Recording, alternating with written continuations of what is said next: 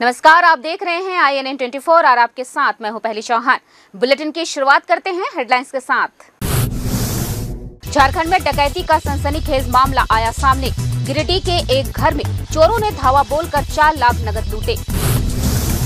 बिहार में दहेज लोभियों का टूटा कहर। शेखपुरा में पैसे के लिए बहू को ज़िंदा जलाने की कोशिश, सभी आरोपी फरार।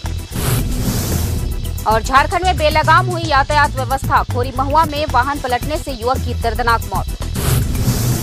झारखंड का लोहरदगा जिला अति नक्सल प्रभावित जिला है। यहाँ पर एक समय था जब दिन में पुलिस की बूटों की आवाज़ें आती थी तो रात के सन्नाटे में नक्सलियों के बूटों की आवाज़। ऐसे में चाहते हुए भी डर कर खेल के क्षेत्र में कोई भी आगे नहीं बढ़ पाता था। मगर अब माहौल कुछ और हो गया है। ग्रामीण क्षेत्रों के युवकों ने बंदूक छोड़ बल्ला संभाल लिया है। जी हाँ हम बात कर रहे हैं लोहरदगा में होने वाले टी मैच के रोमांच का। जब से झारखंड क्रिकेट एसोसिएशन से नेशनल के तर्ज पर क्रिकेट को हरी झंडी मिली है। तब से यहाँ के ग्रामीण इलाकों के खिलाड़ियों में पंख निकल आए हैं। जिसे देखें या फिर जिस गली से गुजरें, सभी में क्रिकेट का जुनून सवार है। शहर के बीएस कॉलेज मैदान में होने वाले नेशनल के तर्ज पर टी फरवरी महीने के चार से सात तारीख तक खेला जाना है, जिसमें झारखंड की चार टीम के साथ दिल्ली, उत्तर प्रदेश, बंगाल और छत्तीसगढ़ के खिलाड़ी अपने खेल का जौहर दिखाएँगे। लोहरदगा जिला क्रिकेट एसोसिएशन अपने स्तर से तैयारी में जुट गई है। फरवरी में चार से सात तारीख के अंदर हम लोग क्रिकेट मैच का नेशनल लेवल पर हम लोग क्रिकेट मैच कराने जा रहे हैं। और इसमें अच्छे अच्छे खिलाड़ी लोग भाग लेने की पूरी संभावना है। मैं चाहूँगा कि यह खेल एक ऐतिहासिक हो और एक नया तरीके से इसको आयोजन किया जाएगा। और शहर के अधिकतर लोगों को इससे जोड़ दिया जाएगा। झारखंड की जो चार टीम है और झारखंड के बाहर उससे हम लोग बातचीत कर लिए हैं। उसका एक्सेप्टेंस एक दो दिन में आ जाएगा। और इसके लिए कुछ उप समिति हम लोग बनाए हैं इसको ठीक से मतलब सुचारू रूप से चलाने के लिए। इसमें जैसे प्लेयर्स हमारे जो बाहर से आएँगे, उनको कहाँ पर ठहराना, कैसे करना है, उसका उनके आवास का भोजन का और फिर उनको यहाँ से लाने, ले जाने का, ये सारा व्यवस्था हम लोग कर रहे हैं और रोज़ हम लोग आपस में, हम क्रिकेट एसोसिएशन का एक बैठक करते हैं, जिसमें हर हर पहलू पर चर्चा होती है और जो भी अच्छी अच्छा बात निकल कर आता है सामने, उसको हम लोग इम्प्लीमेंट करेंगे।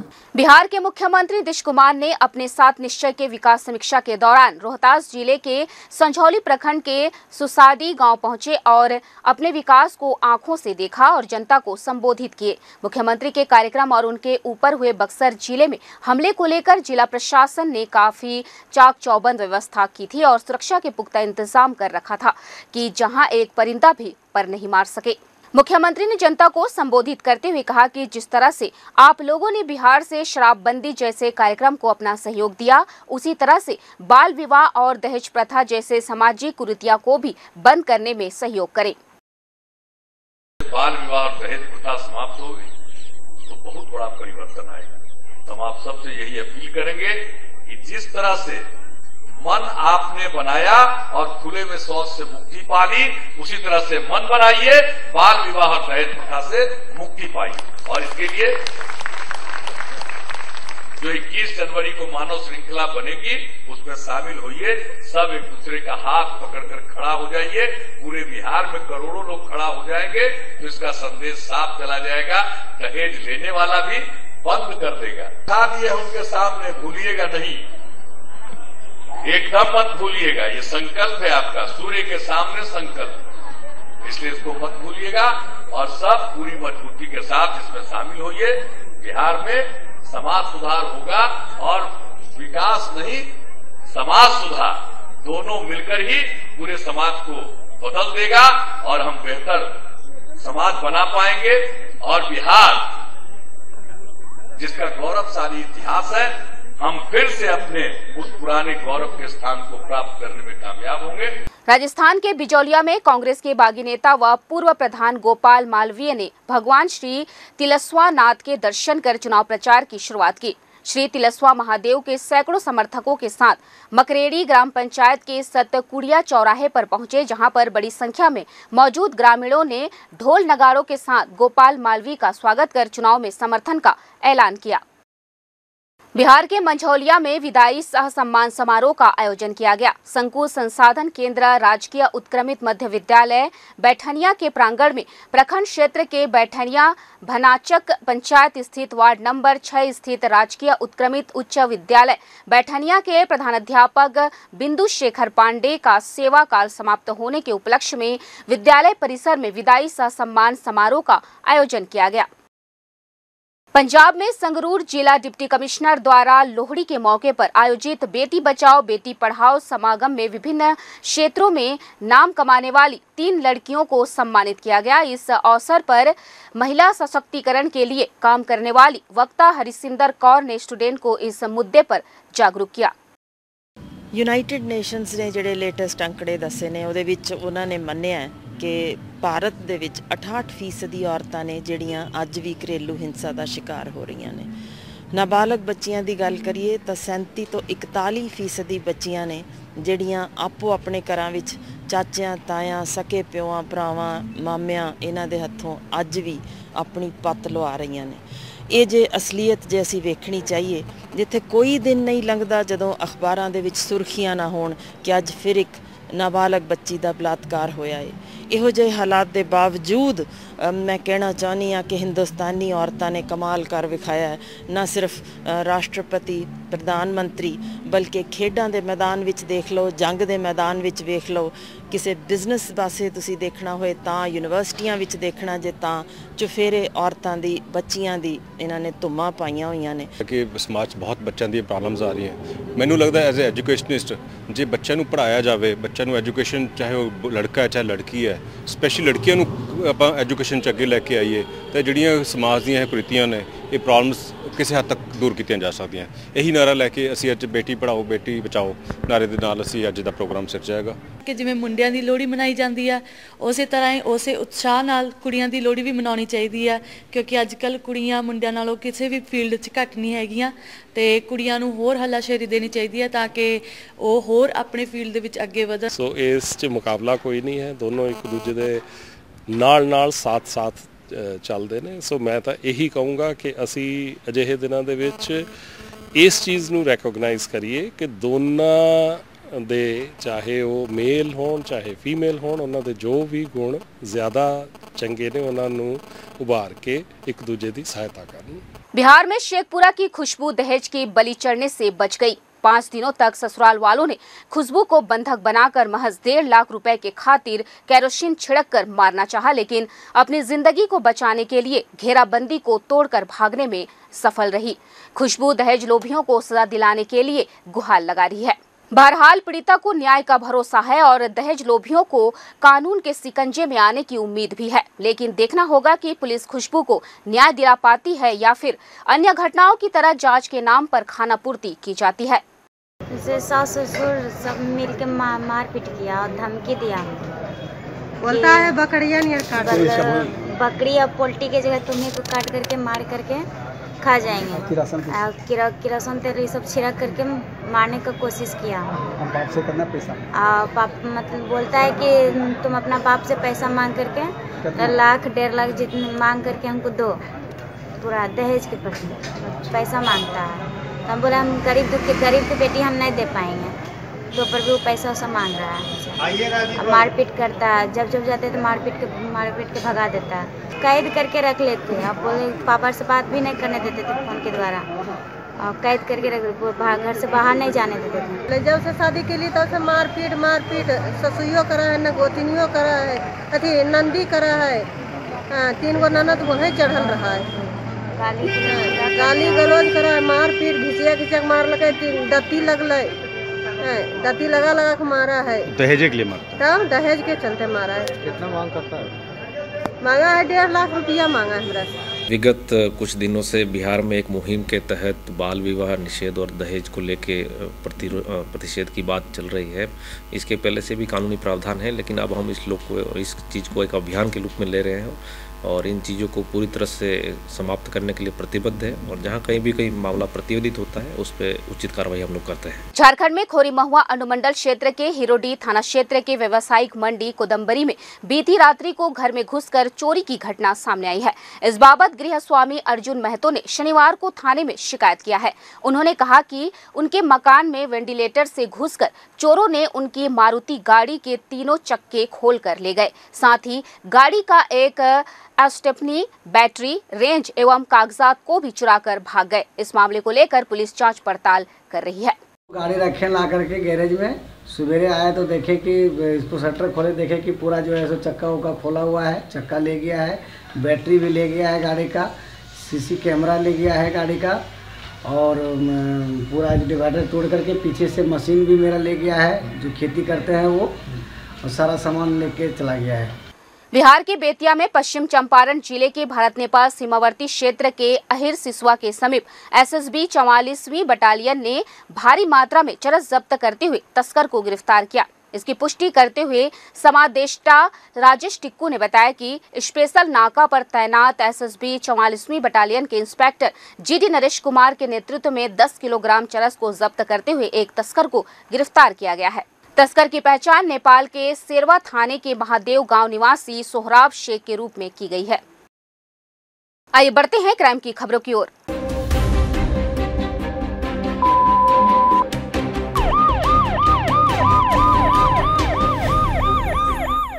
झारखंड में गिरिडीह ज़िले के मुफस्सिल थाना क्षेत्र स्थित सीहोडी स्थित शिव मोहल्ले में शुक्रवार रात डकैतों ने एक घर में जमकर उत्पात मचाया और लगभग तीन से चार लाख नगद ज्वेलरी लेकर चलते बने। मामले की सूचना पर मुफस्सिल पुलिस मौके पर पहुँची और जाँच पड़ताल शुरू कर दी। मतलब निशाना लगा के बोला कि जिस तरह से रोज दरवाज़ा खुलवाते हैं, उस तरह से खुलवाइए। और मजबूर हो गए और दरवाज़ा खोल करके और बच्चे लोगों को जान से मारने की धमकी दे करके, चाबी ले करके सारे सामान को पंद्रह से तीस मिनट तक रह करके एक एक चीज़ को छान करके पूरा घर में और जो था वो लेके चला गया। सोनार इनका नाम है। इनके घर में घटना घटी है। रात में साढ़े दस बजे के करीब कुछ हथियारबंद लोग आए हैं। से कुछ जेवर और पैसा, लगभग चार लाख रुपया लूट करके ले गए हैं। हम लोग प्राथमिकी दर्ज कर रहे हैं। कांड का अनुसंधान कर रहे हैं, जाँच जारी है और हम लोग शीघ्र अपराधियों की पकड़ लेंगे। झारखंड के गुमला जिला निर्वाचन कार्यालय, गुमला के निर्वाचन शाखा में कंप्यूटर ऑपरेटर के तौर पर अनुबंध पर तैनात सत्यव्रत श्रीवास्तव उर्फ़ रिंकू ने पारिवारिक विवाद में फांसी लगाकर अपनी यह लीला समाप्त कर ली। दो माह पूर्व 21 नवंबर को ही उसकी शादी बोकारो में हुई थी। शादी के बाद से ही अनबन की नौबत आई, वह परेशान हाल था। सूचना मिली कि एक सत्यव्रत नाम का व्यक्ति जो है, वो फांसी लगा लिया है। तो हम लोग अभी आए हैं तो देख रहे हैं। उस पर छानबीन की जा रही है। और फ़िलहाल तो उसको लोग, यहाँ के घर के लोग उसको बाड़ तोड़ करके उसको देखे। अंदर से छिटकनी बंद थी। तो वो खुद फांसी लगाया है अभी। अब किस वजह से लगा है, उसका की जा रही है। फ़िलहाल तो ऐसा लग रहा है कि अभी वो खुद फांसी लगाया है। अब कारण क्या है, ये तो अभी न्यूज़ पर जाँच की जा रही है। झारखंड में खोरी महुआ अनुमंडल क्षेत्र के गिरिडीह कोडरमा मुख्य मार्ग में एक टेंपो के पलट जाने से युवक की मौत शनिवार को हो गई।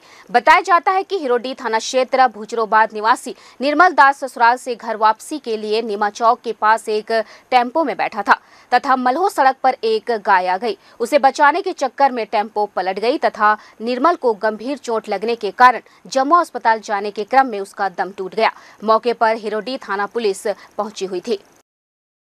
झारखंड में पुलिस अधीक्षक लातेहार को मिली गुप्त सूचना के आधार पर अनुमंडल पुलिस पदाधिकारी अनुज उराव के निर्देशन में पुलिस निरीक्षक थाना प्रभारी चंदवा के नेतृत्व में एक छापेमारी टीम का गठन कर शुक्रवार की रात्रि चंदवा थाने के सिकनी कोलियरी के पास कांटा घर के समीप खड़े प्राथमिक अभियुक्त संजय नायक को अवैध आग्नेय अस्त्र के साथ रंगे हाथ धर दबोचा। इस संबंध में चंदवा थाने में मामला दर्ज कर लातेहार जेल भेज दिया। अभियुक्त संजय के पास से लोहे का बना एक देशी पिस्तौल 315 बोर का ज़िंदा गोली और एक हाईटेक कंपनी का मोबाइल, दो सिम लगा हुआ बरामद किया गया।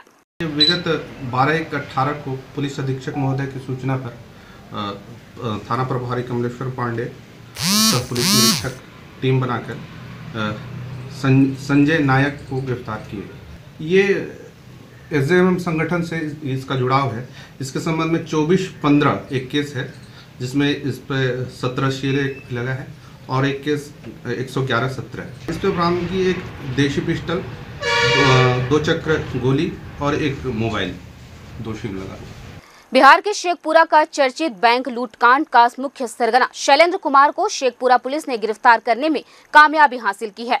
शैलेंद्र कुमार बिहार और बंगाल में बैंक लूट की घटनाओं को अंजाम दिया करता था। इसका एक बड़ा नेटवर्क दोनों प्रदेश में काम कर रहा है, जो मुख्यतः बैंक डकैती में शामिल है। एसपी राजेंद्र कुमार भील ने बताया कि इसके पूर्व प्रमोद ताती की गिरफ्तारी हुई थी। उसी से मिलने के लिए शेखपुरा मंडलकारा में मुख्य सरगना शैलेंद्र कुमार आया हुआ था जिसकी रैकिंग पुलिस कर रही थी और आसानी से गिरफ़्तार कर लिया गया है। हम लोग को इन्फॉर्मेशन थी कि ये प्रमोद से मिलने आ सकता है। जेल में। जेल में। तो बेसिकली ये पटना में कई जगह अपना जगह बदल के रह रहा था। तो कल लोग इसका? शैलेंद्र। है कहाँ सर ये आजकल पटना में ही रह रहा है। कहाँ का है? वहीं डेरा बना लिया है। नालंदा। बर्न बारह हाँ ये ये मास्टरमाइंड है। पूरा घटना का मतलब पूरा प्लान यही किया है। और बाकी इसके साथ साथी और हैं जिसमें एक प्रमोद पकड़ा गया है छः अभी बाकी हैं जिन्होंने मिलकर इस घटना को अंजाम दिया उसमें से ये बड़ा हेड मतलब चार पाँच लाख रुपया अपने पास रख लिया जिसमें एक लाख रुपया ये बैंक में घटना के एक सप्ताह के अंदर जमा किया है पटना। उसकी हमको जानकारी मिली है। पुराना इसका आपराधिक इतिहास हम लोग निकाल रहे हैं। झारखंड में गिरिडीह ज़िले के डुमरी प्रखंड अंतर्गत अंबाडी निवासी सुखदेव महतो का शव राज्य सरकार और विदेश मंत्रालय के सहयोग से शुक्रवार की देर शाम अंबाडी पहुँचा। शव पहुँचते ही मृतक की बूढ़ी माँ, पत्नी, पुत्र, पुत्रियाँ सहित परिजनों का नयन अश्रु से डूब गया। शोकाकुल परिवार के दुख के इस घड़ी में गाँव में मातम का माहौल बना हुआ है। बता दें कि मृतक सुखदेव महतो की मौत दुबई के एसबी नामक कंस्ट्रक्शन कंपनी में कार्य करने के दौरान बीते 17 नवंबर को दुबई में ही हो गया था, जिसके बाद मृतक के शव को भारत लाने के लिए स्थानीय विधायक जगन्नाथ महतो सहित राज्य के रघुवर सरकार ने लगातार प्रयास किया। कंस्ट्रक्शन कंपनी द्वारा मुआवजे की राशि एवं राज्य सरकार द्वारा तत्काल राहत राशि मृतक की पत्नी के खाते में हस्तांतरित कर दिया गया है। मातो जो कि दुबई में कार्यरत थे जहाँ पर एक निजी कंपनी में कार्यरत थे और वहाँ पर उनकी मृत्यु हो गई थी। और कल ही उनका शव झारखंड सरकार के माननीय रघुवर दास जी के और केंद्रीय विदेश मंत्री माननीय सुषमा स्वराज जी के एवं स्थानीय हमारे सांसद महोदय के प्रयास से यह शव कल पहुँचा। हम सब भारतीय जनता पार्टी के कार्यकर्ता जिला अध्यक्ष गिरिडीह के अगुवाई में हम सब पीड़ित परिवार से मिलकर उनको संतावना देने का काम किया है और राज्य सरकार के द्वारा लगभग बाईस हज़ार रुपये की राशि तत्काल में उनको सहयोग प्राप्त उनके बैंक खाते में हो गया है। खरगोड़ा शहर के मध्य मीलूपारा गारे एससीएल की माइन से ड्यूटी करके वापस लौटते समय जमुना भोजनालय में एक जवान का संचालक के साथ लेन देन को लेकर बहस हुआ, जिस पर की जवान ने अपने वर्दीधारी एक बस लगभग 25 से 30 जवानों ने जमुना भोजनालय के संचालक और उसके दो भाई व जीजा की खुलेआम मारपीट की। पूर्व में भी एक व्यवसायी के ड्राइवर को इसी तरह पीटा था, जिसे लेकर नगरवासियों में काफ़ी आक्रोश देखा जा रहा है और आने वाले समय में जल्द ही इनके खिलाफ आवाज़ उठाना प्रारंभ होगा। बुलेटिन में फ़िलहाल इतना ही। देश और दुनिया की तमाम खबरों को जानने के लिए आप बने रहें आई एन एन ट्वेंटी पर। नमस्कार।